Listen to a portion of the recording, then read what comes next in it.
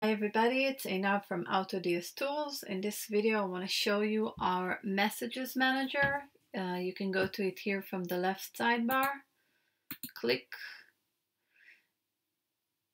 And this uh, page allows you to see your mailbox from eBay takes all the data from there and allows you to manage everything, all your correspondence between the between you and the customer right from here.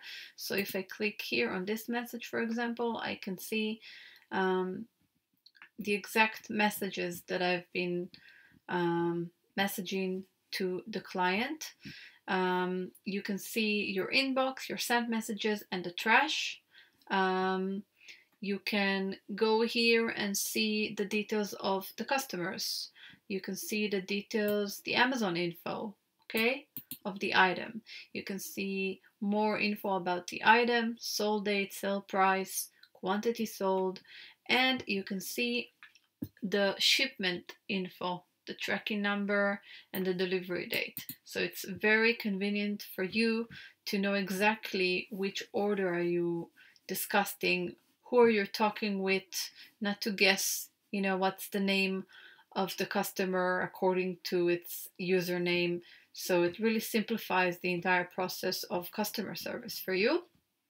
Next, you can go down here and you can set templates of uh, common answers, replies that you usually answer to your customer. So if you want to say something like, you know, um, Please allow me some time to check and get back to you as ASAP. If this is something that you usually write for your customers, you can just create a template. You can uh, click here, add new template, and change the template. Press uh, uh, edit here, change the title, put the text, and you can use um, these tags here to autofill the name of the customer, for example, the item, the name of the sender, receive date. You can just play with it and it will automatically update it um, depending on the customer you're talking with. And that's it. You click save and you have the template here.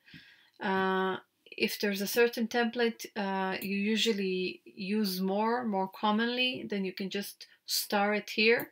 Now it's not starred, now it's starred. So if I'll press here, I only see now my favorites. So it's very convenient, you know, to use the ones you're always using.